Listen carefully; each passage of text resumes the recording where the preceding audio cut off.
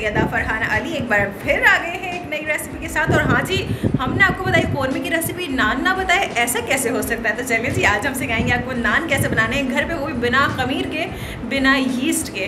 तो चलिए जी, बनाते हैं नान और बिल्कुल छोटे छोटे क्यूट क्यूट से नान बनाएँगे। नन्हे नन्हे से प्यारे प्यारे से फ्लफ़ी नान बनाएँगे।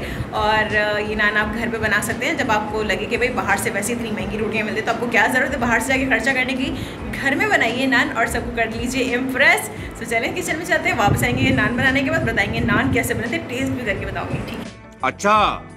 सो so, आज हम बनाने जा रहे हैं मिनी नान क्यूट क्यूट से प्यारे प्यारे से फ्लफी फ्लफी से नान। सो so, फ्लफी नान बनाने के लिए हमें जो इंग्रेडिएंट्स चाहिए सबसे पहले तो चाहिए दो कप मैदा और एक कप दही थ्री फोर्थ कप पानी दो खाने के चम्मच चीनी एक खाने का चम्मच ऑयल एक चाय का चमचा नमक और आधा चाय का चमचा हमें चाहिए यहाँ पे सोडा और एक खाने का चमचा बेकिंग पाउडर, ठीक है? तो चले जी लेट स्टार्ट बनाते हैं नान। चले जी, सबसे पहले इसमें हम मैदा डाल लेंगे, दो कप मैदा। और हाथ हमने अच्छी तरह से धो लिए हैं। अच्छी तरह से हाथों को साफ़ सुथरा आप ग्लव्स पहन के भी आटा गूंद सकते हैं एज यू विश तो लेकिन मैं ऐसे अच्छी तरह से हाथ धो के गूंद लेती हूँ। ठीक, इसमें हम ऐड करेंगे चीनी। नमक। नमक जो कि चिपक गया है। साथ साथ बेकिंग सोडा और बेकिंग पाउडर। और सो हम इसको अच्छी तरह से ड्राई इंग्रेडिएंट्स को मिक्स कर लेते हैं पहले। फिर उसके बाद हम इसमें ऐड करेंगे एक कप भर के दही। पूरा कप भर के दही लेनी है, ठीक है? बिल्कुल भी ज़रा से भी कंजूसी नहीं करनी है आपने, ताकि आपके नान जो है वो अच्छे से फ्लफी से बने।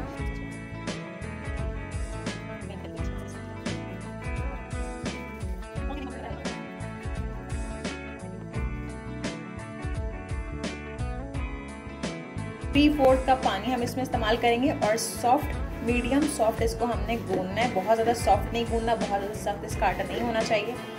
है थोड़ा थोड़ा पानी करके इसमें हम इसमें ऐड करेंगे। और रूम टेम्परेचर पर मैंने पानी लिया है, ना तो ये पानी ठंडा है, ना तो ये पानी गर्म है।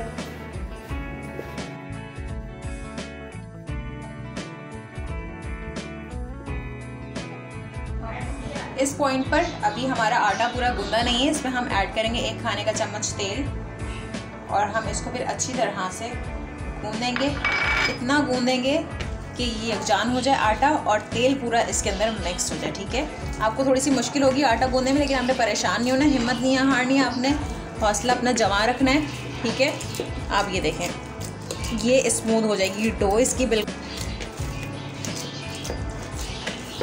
सो ऑयल मिक्स करने के बाद मैंने यहाँ पर अच्छी तरह से खूब मुक्के मार मार के जितना मुझे गुस्सा आ रहा था, जितने लोगों पर मैंने सारा गुस्सा यहाँ निकाला और मैंने आटा अच्छी तरह से, बहुत ही अच्छी तरह से गूँध लिया और मैंने बहुत सारे मुक्के इसको लगाए हैं मतलब मुक्कियाँ लगाई हैं छोटी छोटी और आटा कुछ इस तरह की शक्ल इख्तियार कर गया है। सो फिर इसके बाद मैंने दस मिनट के लिए इसको छोड़ दिया था ताकि ये थोड़ा सा रेस्ट करे क्योंकि थक गया होगा, मैंने इसको इतने सारे मुक्के मारे थे। फिर मैंने आटे को निकाले दस मिनट के बाद और मैंने इसको डस्ट कर लिया आटे के साथ और डस्ट करने के बाद अच्छी तरह से इसकी शक्ल स्मूद हो गई थी, बहुत ही प्यारा लग रहा था। फिर मैंने निकाला एक कसाइयों वाला छुरा और छुरे से मैंने इसको काट लिया और इसके मैंने टुकड़े टुकड़े करके रख दिए और टुकड़े करने के बाद फिर मैंने इसकी बॉल्स भी बनाई हैं। तो यहाँ पर सबसे पहले मैंने इसको आधा कर लिया, फिर मैंने देखा कि ये आधा करके इसके काफ़ी सारे पेड़े बन जाएँगे, जो कि बहुत ही सारे बन चुके थे और मैंने इसको कट कर लिया इस अंदाज़ में। और फिर इसके बाद मैंने इसकी बॉल्स बना ली। आप ज़्यादा से ज़्यादा इससे दस भी बना सकते हैं, बारह भी नान बना सकते हैं। ये आप पर डिपेंड करता है कि आप कितने नान बनाना चाहें। छोटे बनाएँगे तो ज़्यादा बन जाएँगे और ज़्यादा अगर उसका साइज़ आपने बड़ा कर दिया तो इसमें से बहुत ही कम नान बनेंगे। तो ये आधा किलो मैदा था तो इसकी इतनी सारी बॉल्स बन गई थी और हमारे पूरे घर वालों के लिए काफ़ी थी। तो मैंने इसको डस्ट किया थोड़ी सी ड्राई मैंने फ्लावर इसमें ऐड किया और मैंने यहाँ पर बेलना शुरू कर दिया नान को। फिर मैंने नान को आराम आराम से बहुत ही ईजिली बेला थोड़े से चिपक रहे थे लेकिन मैंने थोड़ा सा और मज़ीद इसको डस्ट किया आटे के साथ और फिर मैंने इसको आराम आराम से थोड़ा थोड़ा करके बहुत ही प्यार से मैंने इसको बेल लिया। सो so, मैंने इसको बेलने के बाद इस तरह की शक्ल दे, दे दी और जब इस तरह की शक्ल आ गई तो मैंने इसको तवे पर डाल दिया। तवा मैंने पहले से गर्म कर लिया था।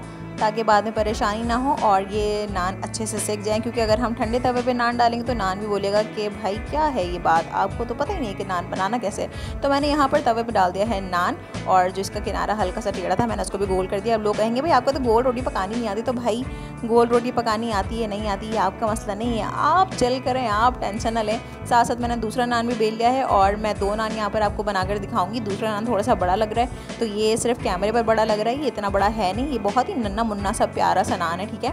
और कैमरे पर अक्सर ऐसा होता है ना कि जो छोटी चीज़ें होती हैं, आपको बड़ी बड़ी नज़र आती है। देखिए, तवा मेरा इतना ज़्यादा बड़ा नहीं है, लेकिन नान इतने बड़े बड़े लग रहे हैं इसके ऊपर।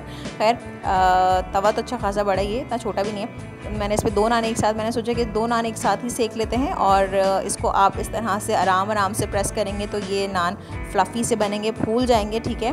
तो मैंने इसको फ्लिप कर दिया है। दूसरा वाला नान भी मैं अभी फ्लिप कर दूँगी और फिर उसके बाद साथ साथ दोनों को एक ही साथ हम सेक लेंगे। और जब ये बिल्कुल तैयार हो जाएँगे तो हम इसको उतारेंगे तवे से और फिर मज़े से हम खाएँगे। लेकिन नहीं उससे पहले हम इसको ज़रा सा गार्निश भी तो करेंगे। तो आप देख लीजिए कि नान फूलना स्टार्ट हो गए हैं और देखें कितने प्यारे लग रहे हैं। सो ये नान इतने फ्लफ़ी बने थे, आप यकीन करें, और इतने मज़ेदार ये नान थे। तो ये दोनों नान तैयार हो गए हैं तो मैंने इसको निकाल लिया है। अब तमाम नान तैयार हो जाएँगे तो फिर मैं आपको दिखाऊँगी कि तमाम नान कैसे थे। सो नान हमारे हो गए हैं रेडी, और अब हम क्या करेंगे, मैंने इसमें आप बटर ले सकते हैं और घी भी ले सकते हैं। मैंने इसमें हरा धनिया काट के बटर में मिक्स कर दिया था, ठीक है? पिघला कर उसको और अब मैं इस पर नान पे लगा दूँगी। ऐसे आप ब्रश की मदद से लगा दीजिए, मैं चम्मच की मदद से लगा रही ठीक है?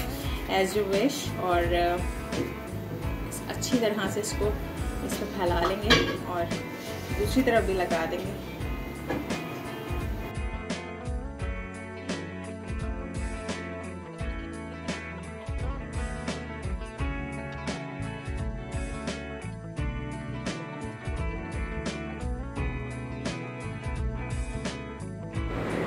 नान खाए सैया हमारो।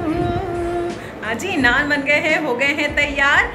सो so, अब हम करेंगे एन्जॉय आप भी बताइएगा कि नान आपने अगर ट्राई किया तो कैसे ट्राई किया और बाकी जितनी भी रेसिपीज़ आप लोग ट्राई करें तो ज़रूर मुझे उसका फीडबैक दीजिएगा। और कमेंट सेक्शन में जाकर बताइएगा कि आपको आज की रेसिपी कैसी लगी। अगली वीडियो में मिलेंगे फिर आपको बताएँगे कि हम आपको क्या बताने वाले हैं क्या शेयर करने वाले हैं अगली वीडियो में। सो नेक्स्ट रेसिपी तक हमें दीजिए इजाज़त। अपना ख्याल रखिएगा अपने प्यारों का ख्याल रखिएगा। ख्याल का भी ख्याल रखिएगा। सो मिलते हैं नेक्स्ट वीडियो में। फरहाना इस साइनिंग ऑफ़ फ़ी अमान